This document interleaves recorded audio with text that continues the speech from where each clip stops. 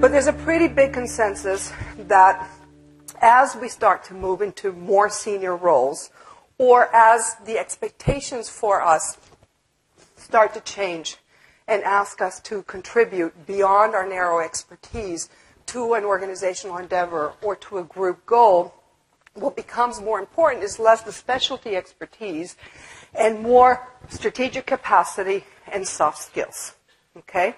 And strategic capacity meaning being able to understand what are the trends, what's going on, what are other people doing, what are opportunities out there, what are some of the dangers lurking.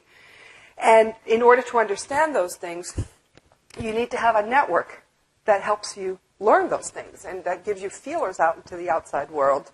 And then you also need the soft skills because you can have the best strategic ideas in the world, but if nobody buys into them, nobody's motivated by them, nobody's inspired by them, nothing really happens. So over and over again, these two things are what really make the difference. Um, this came out of a study that was done um, by one of our colleagues, Boris Groysberg, um, with the headhunting firm Heidrick and Struggles. It was called The New Path to the C-Suite. And what they were seeing is for the senior roles, those are the two key things that matter a lot.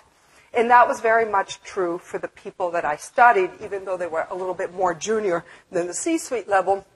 The three things that they really needed to do to move up to more senior roles, or again, to have bigger impact. Because one of the things I've seen is that um, over the years, I don't know if this is happening to you, but our jobs are just getting bigger without necessarily a title change that goes with it. Kind of more responsibilities, people get fired or leave and they're not replaced, and so you get more pieces or more geographies. I see a lot of heads nodding.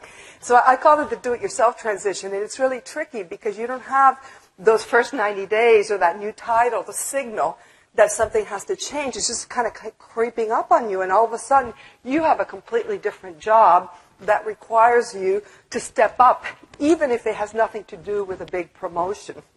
And so, as we face these situations, either positioning ourselves to move up or simply wanting to lead in a different way in that kind of context where your job has expanded, the three things that I'm going to focus on this morning are how do you redefine your job? How do you network more broadly across and out?